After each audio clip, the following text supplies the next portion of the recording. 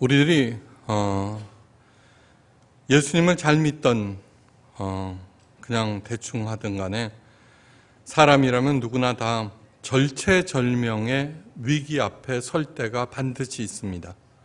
우리 가운데서도 지금 고난 중에 신음하는 사람들, 네, 어려움 처한 사람들 분명히 있습니다. 이 일들을 어떻게 타개해 나가야 할지 오늘 본문을 통해서 하나님께서 잘 가르쳐 주고 계십니다. 잘 들으시고 어, 전혀 새로운 차원 하나님께서 열어주시는 그 기회를 향해서 힘차게 출발하는 모두 되시기를 바랍니다. 엘리야는 지금 하나님의 명령이라면 기꺼이 목숨까지도 내놓았던 사람입니다. 가라면 갔고 오라면 왔고 죽어 지내라면 기약 없이 신분을 숨기며 연명하였습니다. 하나님의 명령에 따라서 목숨을 걸고 아합 왕 앞에서 하나님의 말씀을 전하고 이방신 제사장 850명과 목숨을 건 대결도 불사하였습니다. 그런 그가 지금 죽을 지경 절체절명의 위기에 처해 있습니다.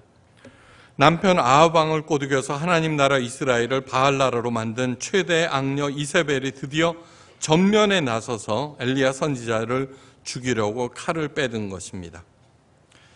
애지중지하던 바알 제사장과 아세라 선지자 850명이 자신의 눈앞에서 몰살을 당한 것입니다.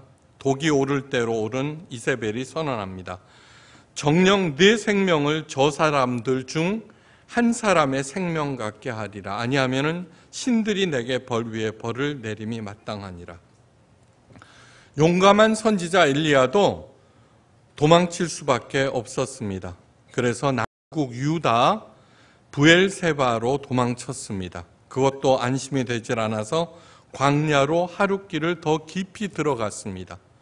그리고는 로뎀 나무 아래 지친 몸을 앉혔습니다. 엘리야의 심정이 어땠을까요? 네. 엘리야는 엄청난 일을 해냈습니다. 바알나로로 전락한 이스라엘을 일순간에 하나님의 능력을 보여줌으로 하나님 편으로 돌아서게 했고 바알에게 절했던 백성들에게 하나님의 살아계심을 보였습니다. 그런 그가 지금 도망자 신세로 전락한 것입니다. 그 도피길은 수백 킬로에 달하는 멀고도 험한 길, 제대로 먹지도 자지도 못하고 몇 날 며칠을 걸려서 달려온 것입니다. 하찮은 공도 알아주지 않으면 화를 내는데 엘리야는 얼마나 기가 막혔을까? 하나님은 뭐 하고 계세요? 제가 이렇게 했으면 하나님께서 이세벨 정도는 처리해 주셔야 할 것 아니에요. 그 소리가 저절로 나왔을 것입니다. 엘리야가 하나님께 탄원합니다. 여호와여 넉넉하오니 지금 내 생명을 취하옵소서. 한마디로 말해서 죽여달라는 것입니다. 더 살고 싶지 않다는 얘기입니다. 그리고는 퍽 쓰러져서 깊고 깊은 잠에 빠져버렸습니다. 심신이 모두 다 지쳐버린 것입니다.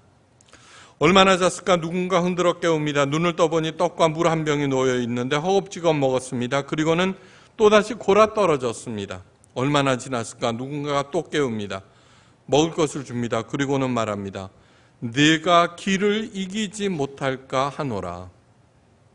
기운을 차리고 가만히 보니까 하나님께서 보내신 어, 천사였습니다. 길을 이기지 못하나니 무슨 말인가 했더니 호랩산으로 가라는 것입니다. 호랩산은 신의 광야를 가로질러서 한참을 가야 합니다. 본문에는 40주야가 걸렸다고 기록되어 있습니다. 성지순례를 가보신 분들은 신의 광야를 지나가게 되는데 정말 죽음의 사막하고 똑같습니다. 먹을 물도 마실 물도 정말 엄청나게 뜨겁습니다. 거기를 40주야를 걸어가야 합니다. 엘리야는 하나님의 명령을 따라서 몸을 추스르고 그 광야길을 갔습니다. 40주야를 걸어서 갔습니다. 드디어 호랩산에 당도합니다. 호랩산은 모세가 하나님으로부터 십계명 돌판을 받은 신의 산을 가리킵니다. 근데 너무나 기가 막힌 일이 벌어집니다. 구절 말씀. 엘리야가 그곳 굴에 들어가서 거기서 유하더니 여호와의 말씀이 저에게 임하여 이르시되 엘리야야 내가 어찌하여 여기 있느냐 아니 하나님께서 가라 해서 여기까지 왔는데 하나님께서는 어찌해서 네가 거기 있느냐고 물으시는 것입니다. 아니 하나님 어찌하여 여기 있다뇨? 하나님께서 가라 하셨잖아요. 무려 두 번이나 하나님께서는 동일한 질문을 하십니다. 엘리야가 하나님께 아뢰입니다. 내가 만군의 여호와를 위하여 열심히 특심하오니 이는 이스라엘 자손이 주의 언약을 버리고 주의 단을 헐며 칼로 주의 선지자들을 죽였으며며 오직 나만 남았건을 저희가 내 생명을 찾아 취하려 하나이다. 근데 하나님께서는 그 말에 대해서 아무런 답도 없으셨습니다. 어, 그렇구나. 뭐 이렇게 하지도 않고 다만 너는 나가서 여호와 앞에서 산에 섰으라고 하시고는 사라져 버리셨습니다. 다시 말해서 호렙산에서 호렙산을 향해서 서라는 얘기입니다. 서 있으라는 얘기입니다. 도대체 하나님께서는 엘리야와 무엇을 하고 계시는 것일까요? 분명 이세벨이 자기를 죽이려고 한다고 말씀드렸는데 또 전지전능하신 하나님이라면은 진작부터 알고 계셨을 텐데 거기에 대해서는 이런 방구도 하지 아니하시고 이리 가라 저리 가라 이제는 산에 서 있거라 하시고는 사라져 버렸다는 얘기입니다. 하나님께서 가장 먼저 하셔야 할 일은 무엇입니까? 물어보나만 합니다. 최대 악녀 이세벨을 처단하는 일입니다. 그런데 하나님께서는 전혀 거기에는 이런 방구도 하지 않으시면서 몸과 마음이 모두 지쳐버린 엘리야에게 엉뚱한 일만 시키고 계십니다. 자, 과연 사랑의 하나님이신가? 네. 이렇게 훌륭한 의인에게도 이런 고통을 주시는 것일까? 네. 마음에 새겨야 할 것이 있습니다. 지구상에 고난이 존재한다고 해서 의인들이 고통을 당한다고 해서 하나님의 창조와 하나님의 운영이 잘못되었다고 생각해서는 안 됩니다. 하나님께서는 전지전능하심으로 반드시 그분께서 하시는 일들은 정확한 의도가 있다는 것을 받아들이셔야 합니다. 이유를 알 수 없는 고난이 내게 찾아왔습니다. 예, 반드시 예, 거기에는 의도가 있고 그 의도를 내가 읽어내야 합니다. 모든 우주 만물은 하나님의 창조 법칙에 따라서 살아갑니다. 하나님께서 살라면 살고 죽으라면 죽습니다. 은하계에서 개미에 이르기까지 다 그렇게 합니다. 그런데 예외가 있습니다. 사람. 사람들은 하나님께서 정하신 창조 법칙을 마음에 들어하지 않습니다. 네. 왜 내게 이런 일들이 생겨야 돼요? 열심히 한다고 했는데, 네. 죽으라 하는데 한사코 살려고 하고 사람들은 하나님께서 주신 인생의 목적, 하나님의 영광을 위해서 살 것을 거부합니다. 대신 자신의 행복을 추구합니다. 그래서 자신에게 조금이라도 불편하면은 하나님이건 사람에게 불평과 원망을 마구 쏟아냈습니다. 이세계벨의 인생 목적은 자신의 행복을 극대화하는 것입니다. 그 방편으로 번영의 신 바알을 열심히 섬기고 있는 중입니다. 하나님의 영광이나 하나님의 찬양에는 한치의 관심도 없습니다. 자기 행복과 번영을 방해한다고 하나님의 사람 엘리야를 죽이려고 하고 하나님이 자기를 괴롭힌다고 생각합니다. 하나님은 왜 악녀 이세벨을 지금 당장 심판하지 않으실까요? 거기에도 이유가 있습니다. 죄 삭은 분명 사망입니다. 만약 하나님께서 즉시 즉시 우리의 죄를 추궁하신다면 여기에 앉아 있을 사람 단 한 명도 없습니다. 심판을 보류하시는 것 자체가 하나님의 사랑이고 국률이고 자비입니다. 조니 에릭슨 그 전에도 한번 얘기했습니다. 총명하고 예쁘고 건강한 학생입니다. 볼티모어 근교 시골에서 좋은 기독교 가정에서 행복하게 잘 살았는데 1967년 어, 어느 여름날 언니와 함께 신나게 승마를 하고 난 다음 바다로 달려가서 바다에 뛰어들었습니다. 그런데 그것으로 끝이었습니다. 조니 에릭슨의 머리가 바디에 부딪히고 툭 소리와 함께 목이 부러지고 만 것입니다. 움직일 수 있는 것은 머리뿐 그 아래는 간단없이 찾아와 칼로 찌르는 것 같은 고통만 느끼는 나무 토막이었습니다. 예.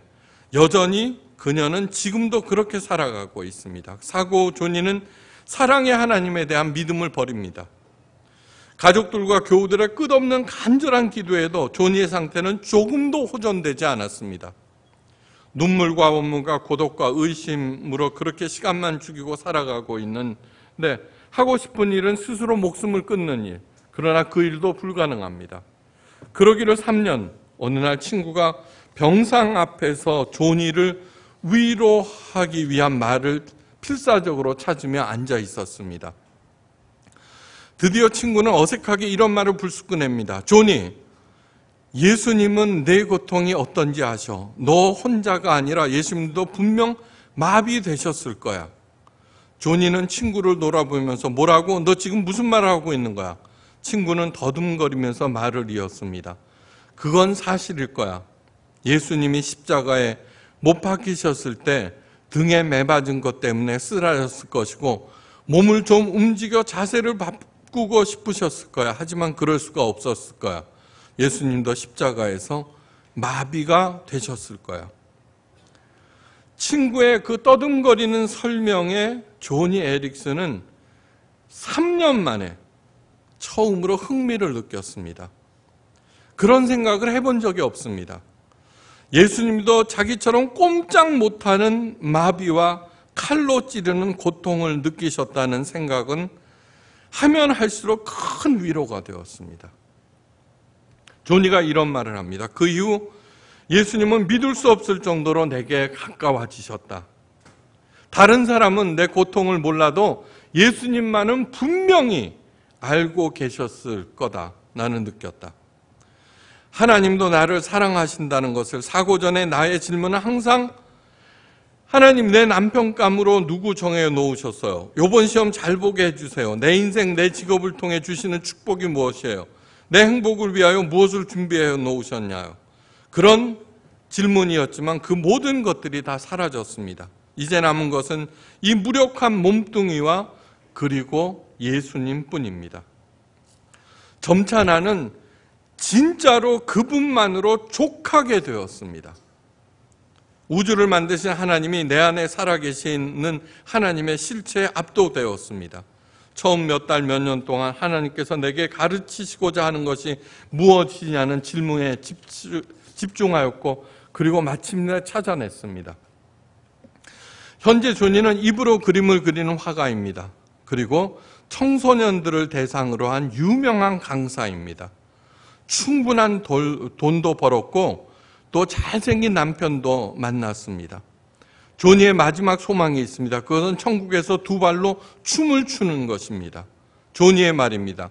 성경은 천국에서 영화롭게 될 몸에 대해서 말해줍니다. 그 말씀은 내게 절대로 환상이 아닙니다. 현실이고 소망입니다. 완전한 사람이 되는 기회를 빼앗긴 것이 아니라 지금 지연된 것 뿐입니다. 하나님은 정말 어처구니 없는 사고로 전신마비된 조니 에릭슨과 대면하셨습니다. 하나님께서는 위대한 사명을 너무나 훌륭히 감수하고 그럼에도 이세벨의 칼을 피해 달아나는 지쳐버린 엘리야를 대면하고 계십니다. 표독스러운 표정으로 이를 갈고 있는 이세벨과도 대면하고 계십니다. 우리 모두와 대면하고 계십니다. 모두 모두 하나님을 만나서 인생의 진짜 목적을 제발 깨닫고 헛된 일로 시간과 에너지를 낭비하지 말고 고난에서 이기기를 간절히 바라십니다. 네. 그런데 엘리야는 하나님을 볼 수가 없습니다. 강한 바람이 산을 자르고 바위를 부수나 바람 가운데 하나님께서 계시지 아니하였습니다. 바람 후에 지진이 일어나 온 천지를 흔듭니다. 그러나 지진 가운데도 하나님은 안 계셨습니다. 지진의 모든 것을 사르는 엄청난 불이 일어나 산천 초목을 태웁니다. 그러나 불 가운데서도 여호와는 계시지 아니하였습니다. 그 모든 것이 다 지난 후 아주 세미한 음성이 들려왔습니다. 그 소리는 여간 정신을 집중하지 않으면 절대로 들을 수 없는 그런 소리입니다. 그런데 놀랍게도 거기에 여호와께서 계셨습니다.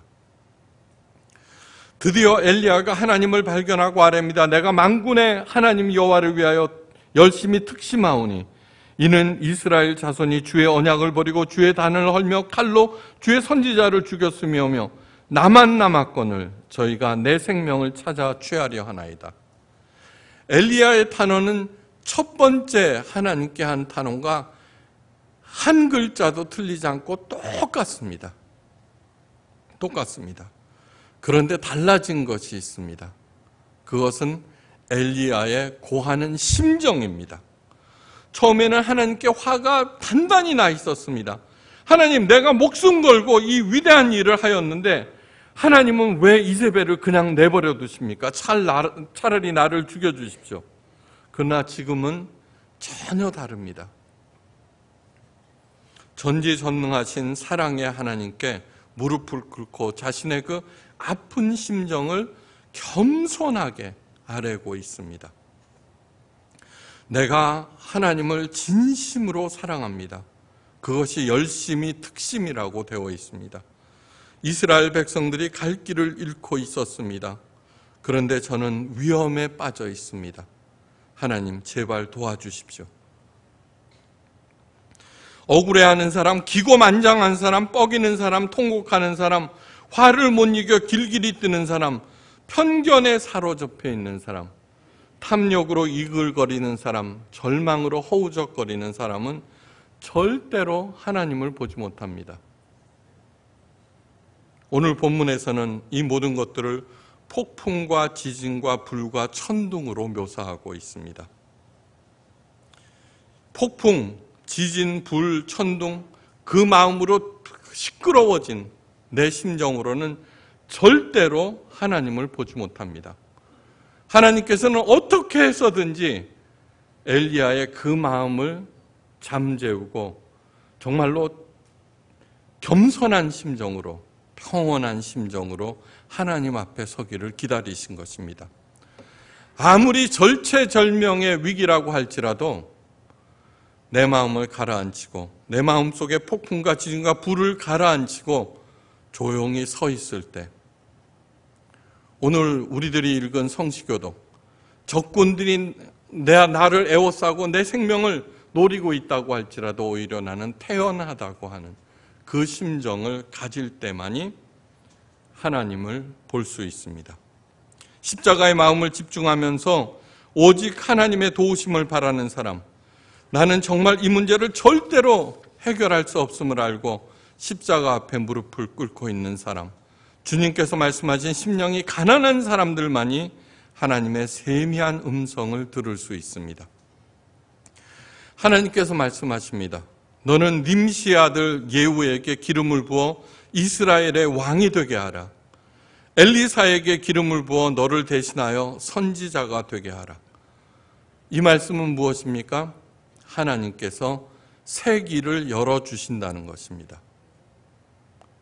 차분히 마음을 가라앉히고 하나님의 세미한 음성을 듣는 사람은 아무리 밑바닥에 내려갔다고 할지라도 반드시 새로운 하나님께서 열어주시는 그 길을 갈 수 있습니다. 하나님께서 말씀하십니다. 내가 이스라엘 가운데 7천인을 남기리니 다 무릎을 바알에게 꿇지 아니하고 다 그 입을 바알에게 맞추지 아니한 자라. 이 말씀은 첫째, 잘난 척하지 말라. 네가 다 옳은 거 아니다. 너만 있다고 천만의 말씀 만만의 콩떡이다. 어떠한 경우에도 외로워하지 말아라. 칠천이라고 하는 것은 칠천은 칠은 완전이고 천은 꽉 찼다는 얘기입니다. 하나님 앞에 겸손한 사람은 바로 자기를 돕기 위하여 하나님께서 마련해 놓으신 7천 명을 언제든지 만나게 됩니다. 혼자만 잘하는 것처럼 절대로 비장해지지 말라는 하나님의 당부입니다. 나면서부터 눈먼 사람에 대해서 예수님께서 이렇게 말씀하십니다. 그에게서 하나님의 하시는 일을 나타내고자 하심이니라. 조니 에릭슨은 천국에서 두 발로 춤추는 것을 소망하면서 지금도 부지런히 그림을 그리고 또 청소년들에게 예수님과 참 인생을 가르치면서 의미 있게 잘 살아가고 있습니다. 나만 옳은 양, 나만 제대로 하고 있는 양 비장해지지 마시기를 간절히 바랍니다. 마비된 몸으로 조니 에릭슨은 하나님께서 어떤 일을 하시는지 나타낸 것입니다. 엘리야 선지자는 억울한 고난을 이기고 가장 위대한 선지자가 되어서 가장 위대한 지도자 모세와 더불어서 변화산에서 하나님의 아들 예수님, 우리의 왕 대신 예수님을 만나 영광스러운 시간을 보냈습니다. 구약에서 가장 위대한 인간이 되었다는 것입니다. 다시 말해서 하나님께서 하시는 일이 무엇인지 우리들에게 보여주신 것입니다. 우리 예수님은 십자가의 고통을 참으시면서 하나님께서 하시는 일을 드러내셨습니다.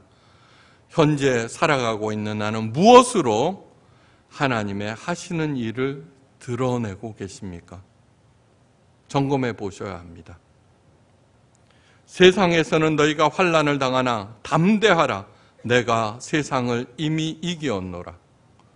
환난의 포커스를 맞추지 말고 이미 이기신 예수님의 포커스를 맞추고 환란이 오히려 합력하여 내게 큰 선을 이루어서 나를 통하여서 하나님께서 하시는 일이 세상에 알려지기를 주의 이름으로 축원합니다. 기도하십니다. 하나님 아버지 먼저 내 마음 속에서 일어나는 폭풍과 지진과 화재를 차분히 언제든지 가라앉히고 하나님의 세미한 음성을 듣고 그 음성대로 차분하게 한 걸음 한 걸음 따라가는 우리 모두가 되게 하옵소서.